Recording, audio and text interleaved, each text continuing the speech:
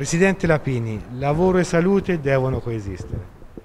Sì, lo slogan recita salute e lavoro possono convivere e mi piace l'eccezione che lei ha fatto, devono convivere, perché senza il lavoro la salute va via e, e si perde tutto quello che in questi anni abbiamo costruito per la prosperità e il benessere del nostro territorio.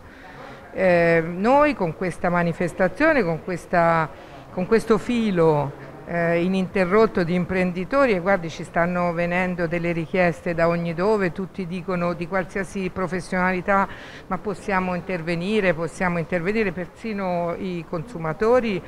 Intendiamo portare alla luce i volti e le storie di tutti questi nostri imprenditori che, eh, che, pagano uno scotto incredibile, pagano il costo più alto di questa pandemia.